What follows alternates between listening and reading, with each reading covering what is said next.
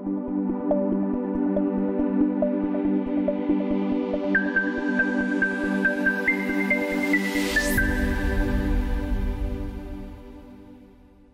さんこんにちは。在宅ケアといえばサンドケア。今回 MC を担当するテタです。今回の動画は訪問看護師さんのケアに密着させていただきました。それでは早速お楽しみください。いってらっしゃい。行ってきます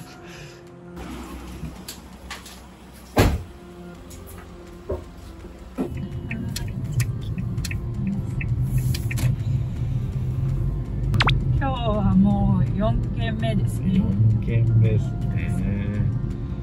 最後の方最後のですね。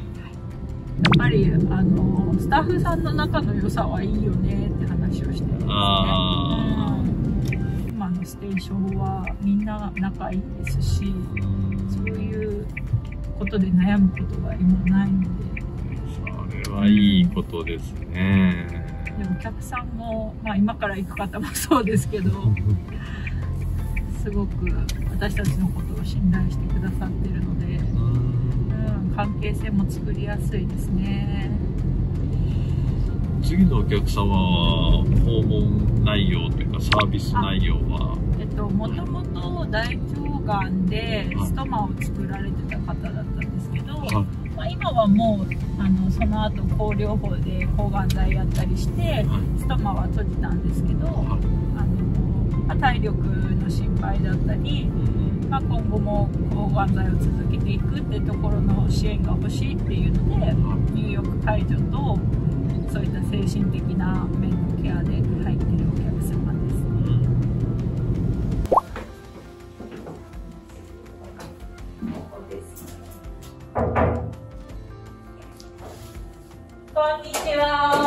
邪魔します。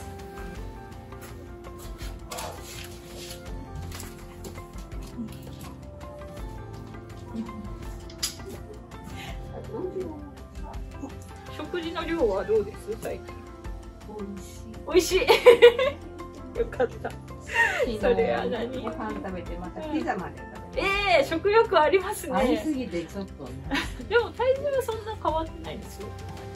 いや一人やとね何の音もせんと寂しいじゃないですか。選ん。でもつけてでも私もなんか家帰って一人やったらつけますもん。ねみんなそうみたいよ。とりあえず見たいのがあるとかじゃなくても。上がってる？血圧130の64あまあいいね。いいです。そういえばここどうですか？腕ここ？うん。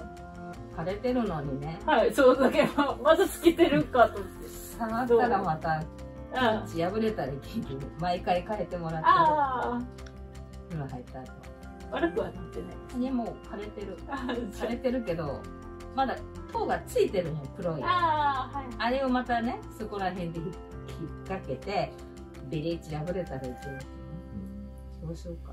見 て見てみましょうか。ねそうってことない秘密の時間ってことで太田さんも結構いい。太田もでも線がついてるのとついてないのあついてる方。あっちはついてるああよかったいや書いとった線がついてる書いとくけどオーバーありにねがとうございます。もうね もうね社長にこれ見てもらって。ここだけは。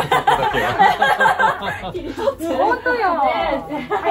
い。そうですお客さんの声が一番ねだから私毎年来てるのああいうのでもランダムなんですよ。誰に届くかはわからない、ううんんうん、新米の私のところにポンと来たからね。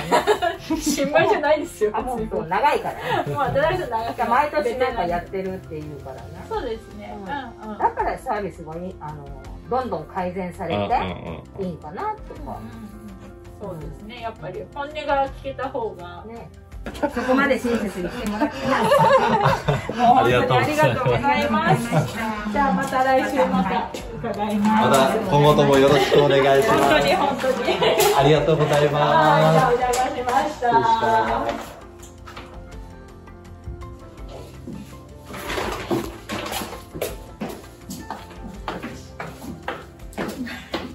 お疲れ様でした。ありがとうございます終わりました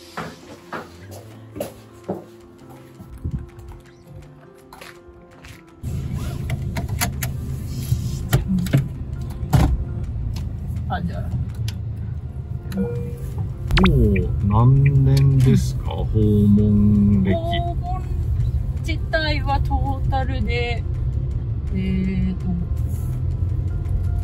5年ぐらいですかね。ああ。結構ベテランの。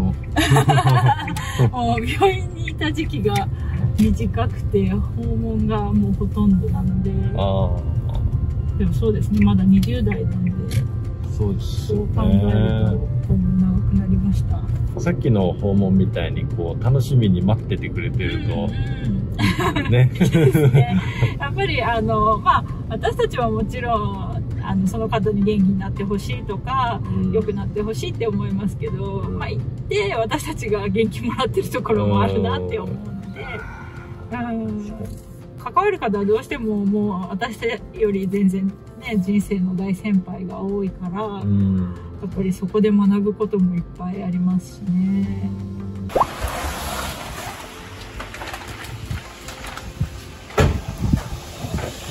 じゃあ、お疲れ様でした。投稿させていただき、ありがとうございました。はい、いかがでしたか？私はお客様との会話を大切にしていく様子が印象的でした。